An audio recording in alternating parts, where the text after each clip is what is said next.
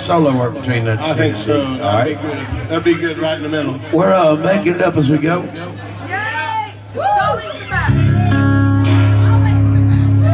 It's a request from a lady. I had a little, a little lady friend in Virginia named Daniella.